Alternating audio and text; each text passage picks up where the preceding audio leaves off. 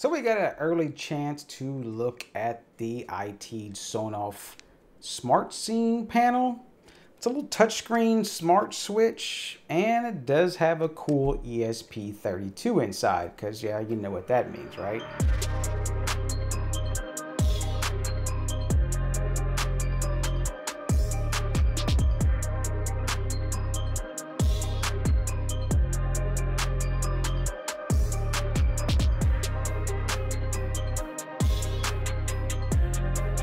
Now they're calling it the NS panel. I'm not sure what NS panel stands for. It may be the not safe panel. We'll talk a little bit about that. Or the no shit panel. I, I, I don't know. What other names do you think you can come up with? And I haven't really seen one for what the NS panel is for. If you have some good names down below, give us a comment and I'd love to read them. Maybe we'll see the best one that has the good acronym for NS panel. And of course they wrote the specs really small, but let's just look on the switch itself. Not a whole lot in the box. And we got the little instruction manual. And there's probably nothing much we're going to read in here. And well, we'll post the picture in the frame of the actual wiring diagram. It does look pretty simple. This is what I'm wanting to look at right here. Ugh, only 2 amp per relay. I probably won't hook these up because, yes, someone could come in behind you and hook up a higher load and 2 amp is not a whole lot. It's supposed to be a touchscreen, I believe, and then they have these buttons at the bottom. I mean, they're kind of clicky. I believe they said there was a problem at first or something with the buttons. I'll have to go back and look at my email. But I don't like to read a whole lot.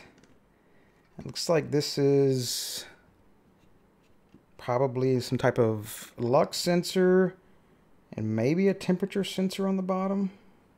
Hmm. I don't know. Let's open this bad boy up. So there's just a top layer. And this one comes apart.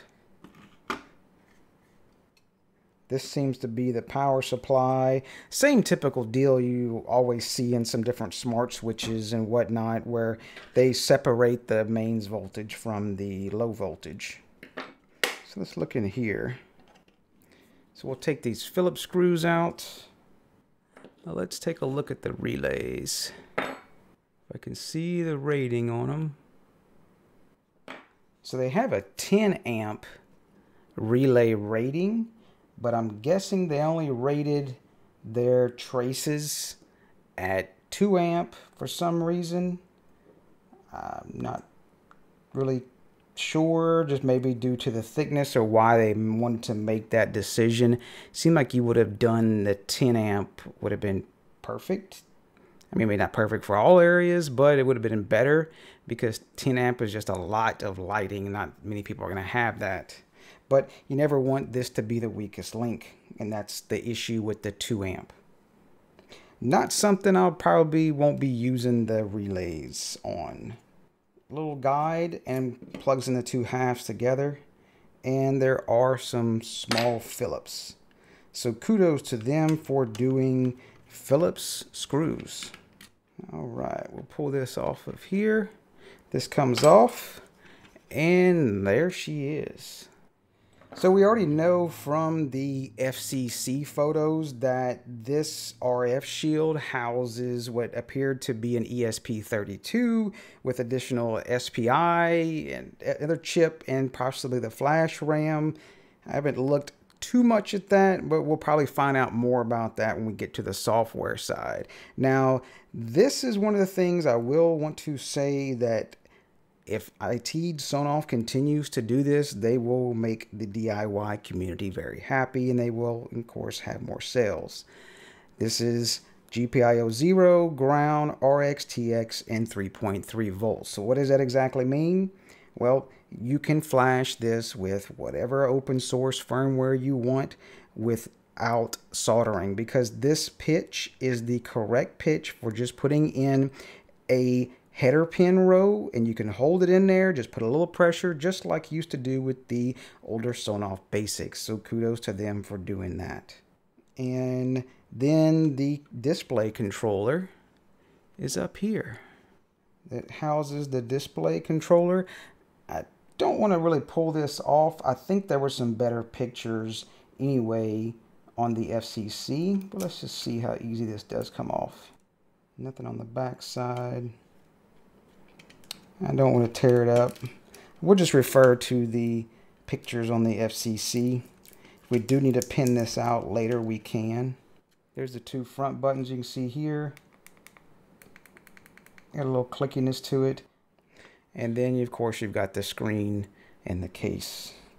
I'm interested to see if the e-fuses are blown on this one that won't allow us to flash the firmware. If they aren't, that's perfect.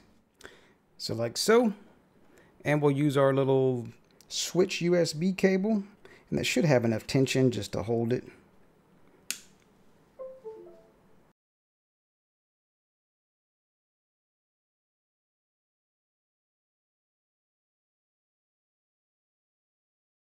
Now once it boots up, I did find on the US model, if you slide down, it was set for the landscape and I had to set it for portrait because you know most of our boxes are going to be in portrait mode basically.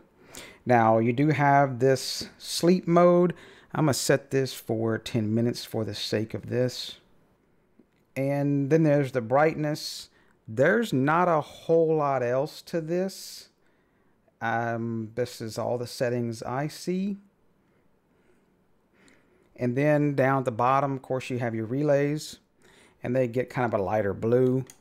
And those actually pushing the buttons. I don't think you can push on the screen. The time, I don't know if you can set that for 12 hour time. The weather, I'm guessing this one is the indoor temperature, which I got one sensor saying 74.3 I'd say that this temperature runs a little high. They may have to do some sort of calibration.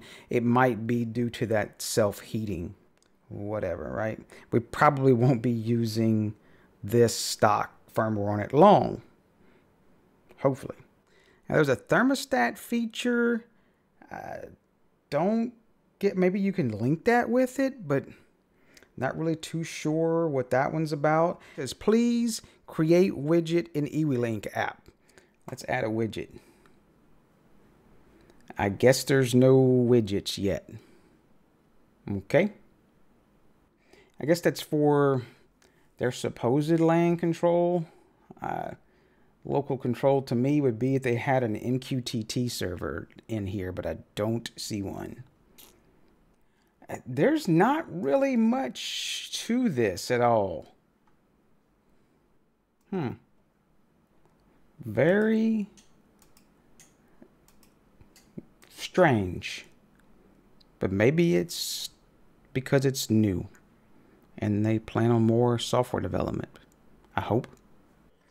So, should you buy this? I mean, I did, they did send this to me. I got an early access to it, and I probably will install it because I really think it has a good future of being able to be developed for the open source stuff, say be OpenHASP or Tasmota will do something, ESP Home, etc. because I really think it has a bright future because a lot of people doing development on this is to probably be a little better than try to say iTead trying to do development because development's expensive doing the software side. I do get that. And I really believe that they made those pin headers and labeled them for us just for us to pick up that ball and run with it.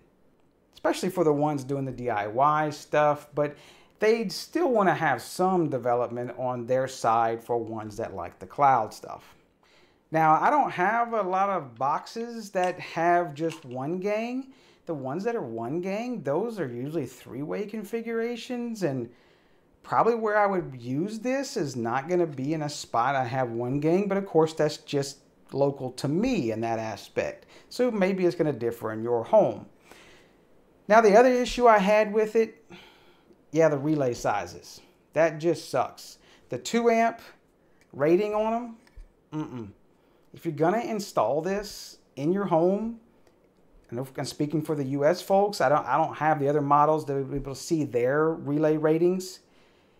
Please do put a fuse on it because you do not want this to be the weakest link in that circuit because a lot of times you're going to have at least a 15 amp breaker with a wire that could carries 15 amp capacity or more.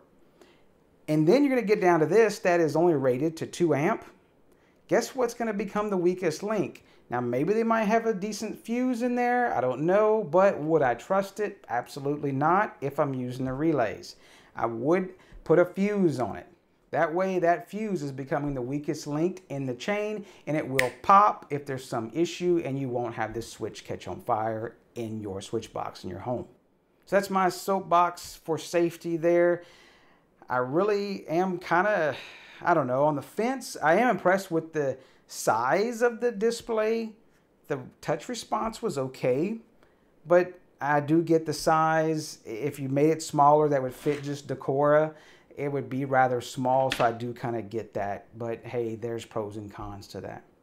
So we'll leave all the links down below if you want to go check out and get on the list or whatever it might be, or hell, they might even be selling this in their stores or on Amazon by the time you get around to watching this video, or you get past all the other ones. So, so I do appreciate iTead and Sonoff for sending this to us to check out. I really want to dive into future development on this and hopefully we'll see some additional videos with it to do some control and things of being able to send temperature sensor ratings to it and control stuff across the house and everything. I'd really like to put this in my bedroom just for some instant looks at like what is locked in the house and alarm sets and stuff. That'd be really cool. So y'all know the drill. If you want to shoot a comment down below and let us know what you dislike or like about this, or maybe you got a good name for that NS panel, definitely let us know down below. Hit that like button or dislike button. If you're not a subscriber, hit that subscriber, and y'all take care.